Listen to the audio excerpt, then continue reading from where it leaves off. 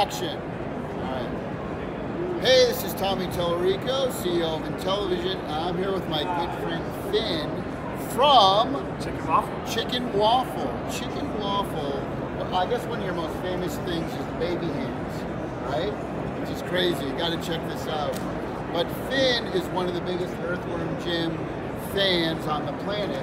That's not true though, because you said your younger brother.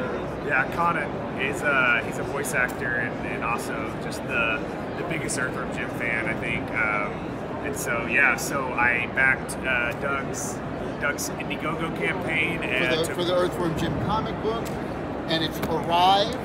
new.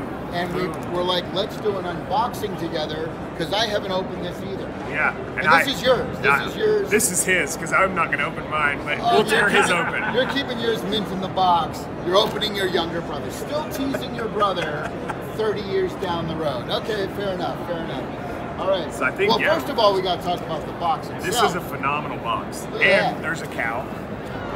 In the back. Just uh, just We got Peter Puppy. phenomenal artwork. Even the box itself is Earthworm Jim branded. I love it. I love it. Yeah, try try not like I mean to, to, to tear this thing open is almost wrong. Right. Well, But let's do it. let's do it. That's why we're here. Okay. So, uh, the first And thing. it didn't tear open. I thought I just was so delicate. I was worried that it was gonna like glue and tear open. So it didn't tear open. You're able to open your comic books. That's right. Let's So the first thing he says, get on the mailing list at earthwormjimcomic.com. So right off the bat, you're hit with marketing. Love that. Just so everyone out there knows. Gosh, we can't say this publicly, but let's just say that Chicken Waffle and Intellivision Amico and Earthworm Jim how, how about we'll leave it at that? Now, uh, look at this crew, this groovy, groovy Earthworm Jim patch. Uh, this Man. could this could go on anywhere. That is awesome. Isn't that? Look at the quality though. The quality is the Bigfoot Bill, which is another character that that uh, Doug put together. Look at this beauty though. Wow. Look at this. I'm just glad I get to like read it and not have to ruin my own. Oh, this is my favorite. This is my favorite. Oh, wow. On the rocket with Princess What's Her Name, Psycho in the background. That's awesome artwork. We got uh, another look at all these prints. Oh, Yeah. thi- this, is funny. I thought this was fun. You could actually put put together a little paper Earthworm Jim action figure. Yeah, he might just get the comic book. He, he might. He might just all get- this stuff might end up in the studio. A double-sided poster. So, so that's one side. But are you ready?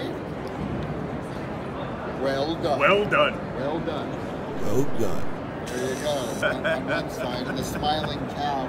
David Perry actually has that original painting Wow. that we had made. It's like about this big, and he has it. So he gave it to Doug so he could That's- scan it in. You know, I mean, you know, you look back at some of the video games that really defined the industry. Uh, Earthworm Jim was one of those games that, and Earthworm Jim 2, of course, uh, was one of those games that, like, you know, I, I probably lost months of my my teenage youth into trying to complete the, you know, the, the And maybe games. that was the reason you're doing video games now. I, I, I really, I, I truly believe that like uh, one of the most influential games to me as a game developer has been Earthworm Jim because Oh. a lot of times we'll look at like things that with either it's, it's a platforming puzzle or a way that the game transitions into one gameplay mode to the next, or it's just the way the audio is just you know. But the fact was is that that game did it right, and you know so what's interesting is that we never really had a game design document. Like all, all, it's like that famous line from one of my favorite lines from uh, Raiders of the Lost Ark is when they're like, "Indy, they, it just got on a truck, and uh, what are you gonna do now?" And he's like, "I don't know. We're making this stuff as I go along." yeah. I don't know. I'm making this up as I go. why aren't more games more humorous? And the reason is, I think a lot of times they make a game and then they try to come up with jokes. Right. For us, it was the exact opposite. It was 10 people in a room together trying to make each other laugh. Say, what, what wouldn't it be fun? I, I got an idea. Wouldn't it be funny if there was a cow and, and, and you, you shot the refrigerator and it launched like somebody said that. I don't remember who exactly but and we launched the cow and then you just saw the cow, Cow launched. and it was just that wouldn't that be hilarious? And then we built that into the game. So we started with the joke first. The joke was funny and then we made the game around it kind of thing you know? That's- and so many people do it the opposite way. We we've often referenced Earth, Earthworm Jim and Earthworm Jim 2 for like I say different things like the the transitional element like how the the gameplay changes completely and and just flips you a 180 and yet then pulls you even deeper into it And that's what we're doing. That's what we're focusing on on the Amico version is that we want to have. Uh, we're starting with the joke first, or the the idea first, and then we're building it around. So people are like expecting that this is going to be. Oh, it's going to be another platform game. No, that's what we did 25 years ago, because that's kind of what we were. That's what you could do with a Genesis controller. Right. You couldn't really do. But now with the Amico controller, you have a speaker, a microphone, for uh, you know gyroscope, accelerometer, touch screen, and we want it to be couch co-op. Well, now you- you think we're going to do another just 2D side-scrolling platform game? You got to be out of your mind nuts. So let's know, check like- this out. UV spotted. This is just the making of Earthworm Jim. So this is making of the game. Look, look, look at this amazing spot UV. This is incredible. I mean, I'm seeing this for the first time Oh, yeah. again. I haven't.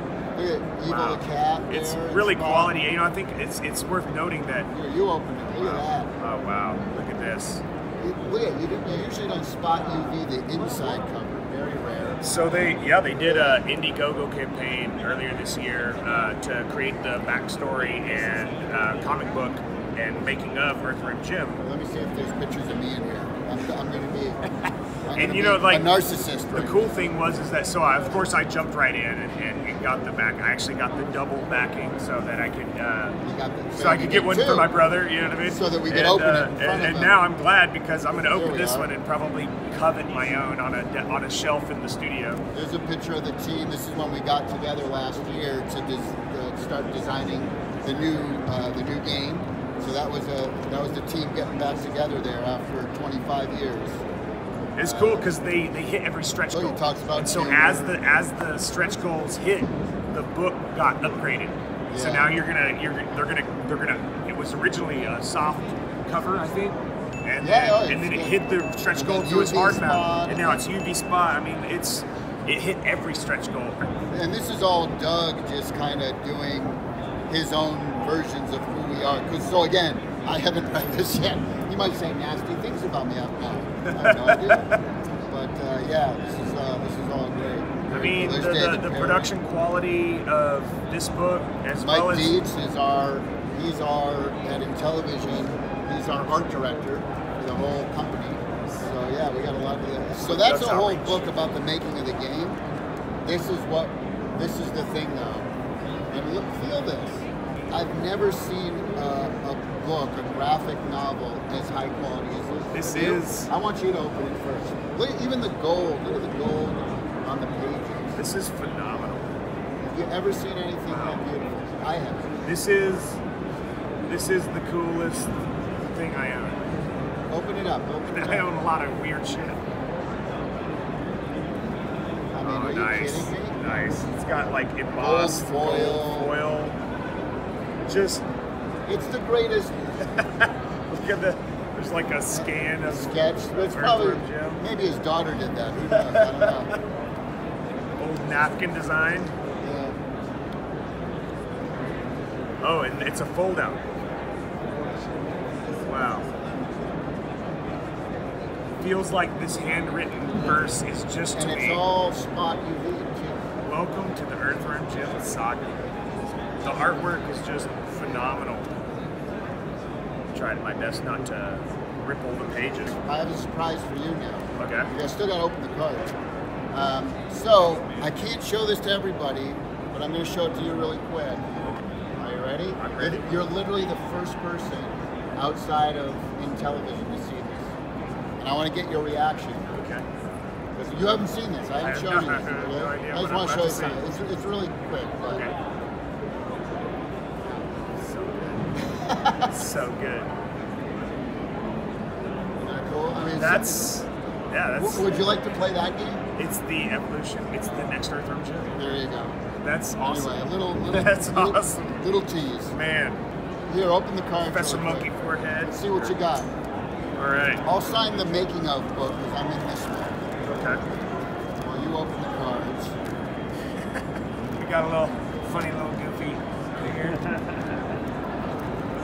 Uh, where do you want me to sign it? How about right there? Right there, next to the yeah. Made a little audio thing for you there. A little groovy. Groovy! And What'd you get? I got an Earthworm Jim sticker. Looks Okay. like a temporary tattoo. Yeah. Oh alright. yeah, temporary Earthworm Jim tattoo that you should just go ahead and get as a permanent one. And uh, I got Princess What's Her Name Okay, that's good. tearing it up, shooting a gun full of bees. What else? I, Is it a signed Mike Dietz? Oh, man, it's a well, it's Mike Neat's Oh, background, oh, and it's a hologram. No, card. no. This is a lenticular card. this they I always I, I love the word lenticular, and and and they hear me say it way too often. so this, this is a lenticular card. I got to say it three times today. Perfect. That is. All right, we're gonna open the cards. Thanks everyone for watching. So much, Tommy. thanks.